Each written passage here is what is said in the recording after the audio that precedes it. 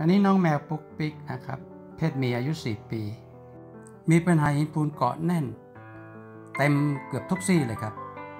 แล้วก็สังเกตจะมีเหงือกอักเสบชัดเจน เราจะสังเกตว่าหินปูนที่เกาะกับฟันเปรียบเสมือนเป็นภูเขาน้ำแข็งนะครับ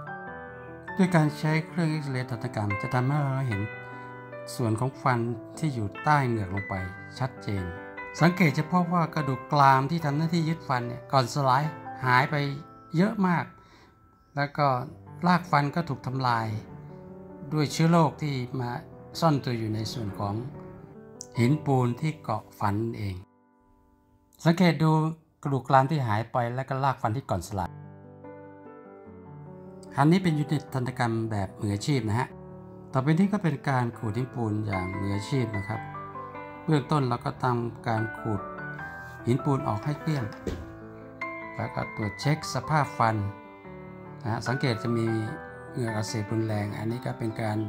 ขูดเอาหินปูนที่เกาะยึดแน่นอยู่ติดกับฟันเนี่ยออกให้หมด จากนั้นเราก็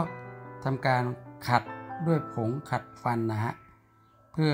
ปรับให้พื้นสภาพของฟันเรียบ ต่อจากนั้นก็มีการพ่นล้างเอาเศษ ส่วนที่หลงเหลืออยู่ออกทิ้งให้หมดนะครับ สังเกตจะเห็นว่าส่วนของเหงือกเนี่ยอักเสบรุนแรงมาก หลังจากที่เราเอาหินปูนออกไปแล้ว เราจะเห็นชัดเจนเลยครับเราก็พ่นล้างเอาเศษเนื้อเศษหินปูน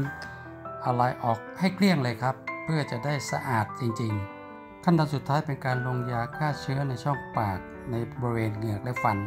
เพื่อขจัดเชื้อโรคออกให้เกลี้ยง